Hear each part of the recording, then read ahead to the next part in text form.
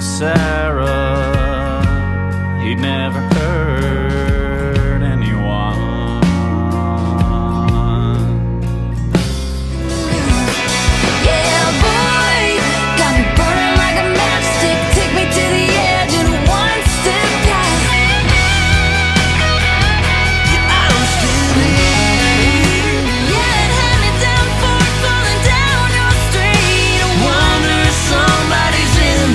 if you're moving on you're stuck like me.